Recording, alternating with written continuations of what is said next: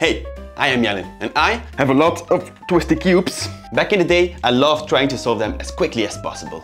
I did the 2x2, 3x3, 4x4, 5x5 and even the 6x6. And not only cubes, I also had a 2x4 and a 3x5 and even this weird pentagon Megaminx. But nowadays, all they do is gather dust. After you solve them a thousand times, the fun kind of wears off. However, it's not all sad news. These new cubes have tiny magnets in them that makes turning them super satisfying. So what I want to do is figure out a way how to use the turning of the cube to control something. Something like a video game. Or even better, I'll just make my own game that can only be controlled by this Rubik's Cube. Now, how can I turn the physical movement of the cube into a digital input on my computer? I could use a webcam to track the faces of the cube, but the problem is that my fingers keep getting in the way and having to show all the sides of the cube after each move will become tiring very quickly. No, this isn't. The answer can be found right here. This is a smart cube. It can connect to your phone through an app and it tracks how fast you can solve a cube. But that's not all. It also tracks every move you make and even how it's rotated. If I can connect this cube to my PC instead of my phone, I can read all the moves and create my own digital cube controller. The Cube uses Bluetooth to connect to a phone, the same way you connect your wireless earbuds. When I tried to connect the Cube to my PC and read all the data, it was all gibberish, a seemingly random string of bytes, because apparently all the data is encrypted. Who encrypts a cube? What are they gonna do? Hack my cube and see how slow I am at solving it? I don't know. There is no way I'm gonna try to figure all this out. I mean, I can't be the first person to think of this, right? Cubers are giant nerds myself included, some of them spent the time to build their own timers, but on PC. And lucky for me, some of them even work with smart cubes. You can connect your cube to Chrome and ta-da, a working connection. And even better, that code is right here on GitHub. The only problem is, all the code is in JavaScript. And I don't want to use a web browser to make my game. I want to use what I've always used, Unity. Before I connect my cube to Unity, I'm going to need a digital cube. When we take apart a real cube, we see that it consists of 6 centers, 12 edge pieces and 8 corner pieces. So I'm going to need a centerpiece that I can give a unique color and fill up the sides with edges and corners. Luckily, the digital one is way easier to put back together than the real one. Then I just need to add some physics to it and press play. Ta-da! Ah. Oh yes, of course. I need to add a rotating mechanism. Alright, so I made a rotation plane that when you start rotating it, it detects which cubelets are inside the plane. Then, when all the cubelets are detected, I stick them to the plane and rotate them with them. Once I let go of the plane, all the cubelets are released, ready to be rotated by the next one. And then, I made each turn controllable by a single button. Perfect for when I want to scramble really quick. Oh wow, that's a problem. Maybe I should add a little waiting period before I start the next turn. Ah, that's much better. And of course, no program is finished without an automatic scrambler. All right, let's try to solve it. Wait, well, no, wait, first this, then, then it was that, then... Ah, what was the algorithm? Oh my, my muscle memory doesn't really translate to mouse dragging. I need my cube if I want to have any chance at solving it.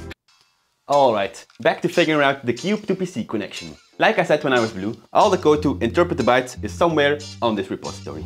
I just need to figure out where. It's like looking for a needle in a haystack. Between all the boilerplate and irrelevant code, I mean, it has to be somewhere. And apart from that, it's all still in JavaScript. Time to use my magical code converter again. My personal magic trick from three years ago. Hey, psst, I'm gonna tell you a secret. Back then, there was no magical code converter. It was all me. I just typed it all by hand. But nowadays, large language models like ChatGPT have made this completely trivial. I mean, it's basically Google Translate for code. So I guess I'll just let it do its job and then uh, I'm done. One eternity later. Alright, now that the code is fully converted, let me tell you how everything works with my PowerPoint presentation. This is the structure of the whole program. Over here, we see we first have the BLE device, which has the device node, then uh, the characteristics, then we have the BLE device, which sends the data all the way to the BLE controller, the BLE controller in the BLE device, which, okay, I thought this would be more interesting, but even I'm bored. So instead, let me tell you the story of the most frustrating part of this whole thing. Ah, I'm finally done with the implementation. I'm sure everything will work just fine from the first time. Oh, Yes. Oh, look. It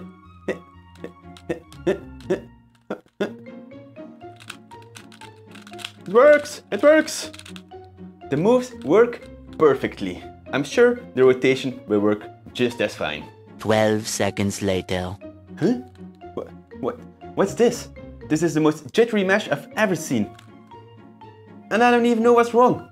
I didn't know what was wrong. The decryption seemed to work perfectly based on the fact that the moves perform just as I expected. And the whole rotation code is the exact same as the JavaScript source code. So the problem had to be somewhere in between the encryption and the quaternion conversion. But then, after banging my head against the wall for many hours, I finally found the culprit. Apparently, the byte conversion has an extra parameter called little endian. Little endian. What a stupid word. How am I supposed to know what this is? And why is the default set to false? Who wrote this crappy code here? What, what is this? Oh yeah. Oh. oh yeah, that's right. I guess when ChatGPT writes all your code, it's kind of difficult to debug everything. I don't think I can trust it fully until it knows how many R's there are in strawberry. Anyway, I'm just glad I found a solution. Because now, instead of a jittery mesh, the rotation is now as smooth as butter. Look how smooth it is. The cube is now the perfect representation of the physical one. I might have a fully controllable digital cube right now, but that's not what I wanted. I want to make a... Um, a game. I really want to lean in the uniqueness of the cube as a controller. And the most unique thing about it is that each time you rotate it, a new combination of colored cubelets meet in the same plane. This got me thinking. And after a while, I decided on making a resource game where each color is its own resource. Hold on, let me show you.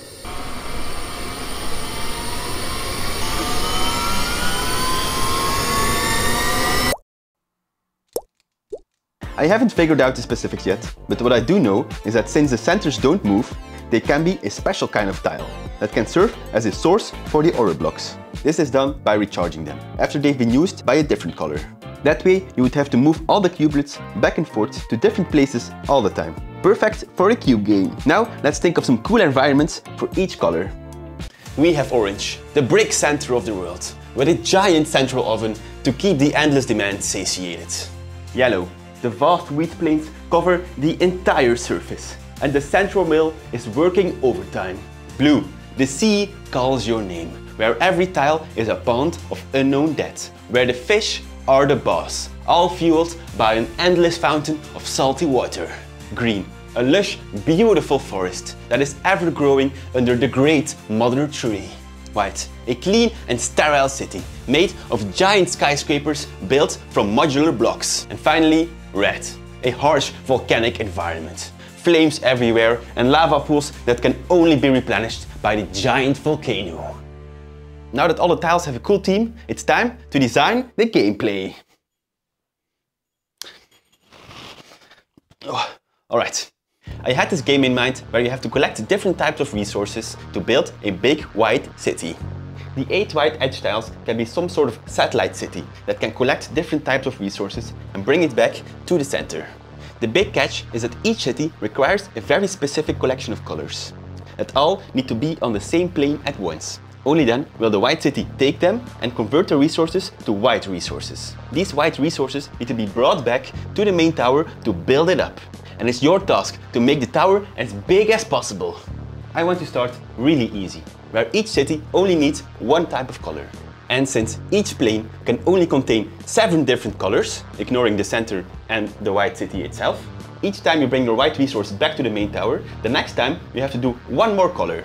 So that goes from 1 to 2, all the way up to 7.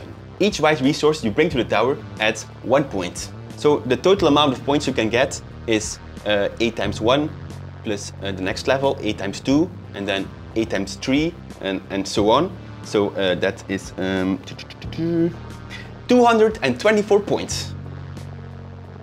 Wow, that's quite a lot.